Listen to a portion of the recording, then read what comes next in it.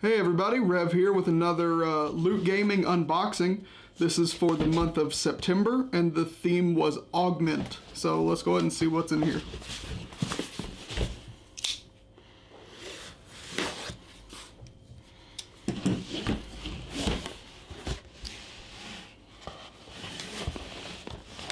So for starters, we got a uh, Cayde-6 figurine from Destiny 2 or just Destiny in general. Uh, Cayde-6 is probably my favorite character.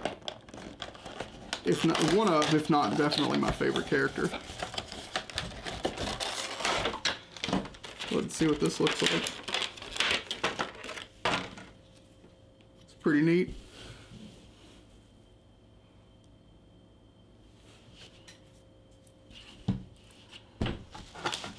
The next item is a, a water bottle. A Talos water bottle from Prey. That's pretty cool. Little pop-up straw.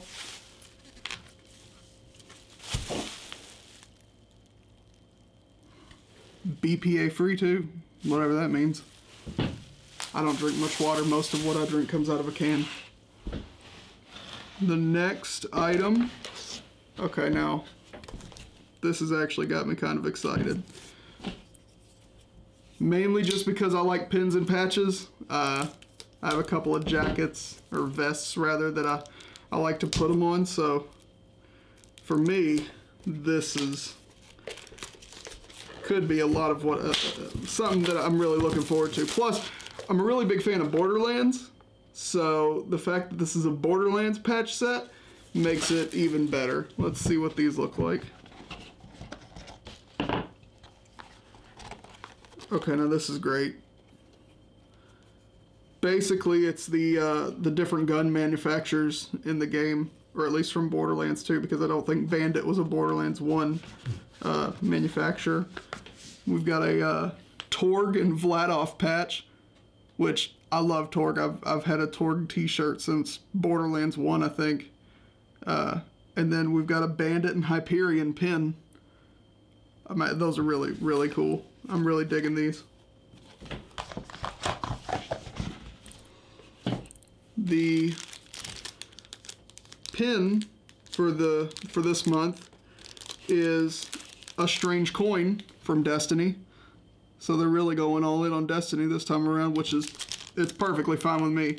Uh, I was I was part of the initial launch for Destiny and Diablo 3, so I've had the unique experience. Well, not necessarily unique. I'm sure a lot of you are with me.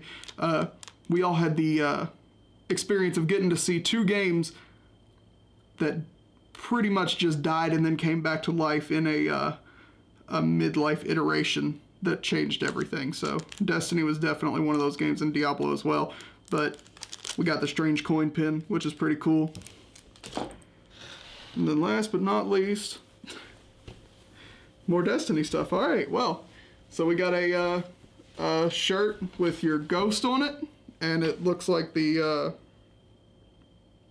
like the load screens in the game, kind of like the uh, the little like uh, intro and traveler, you know, stuff like that when it shows that stuff uh, during the cutscenes. But anyways, nice little Destiny shirt. That's pretty neat. And then it looks like we also have a Destiny 2 poster because I, Destiny might have actually sponsored this crate. I'm not sure what's going on here, but this is actually pretty cool as well. It's the uh, the box art for Destiny, which is neat. I dig it.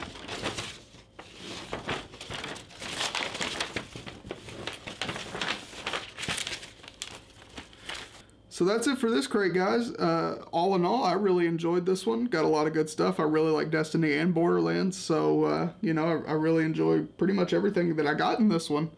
Uh, if you like this video, share it, like, subscribe. You know, uh, if you really want to support Evilhaus, we have a Patreon. It'll be linked in the description below. And uh, see you guys for the next one.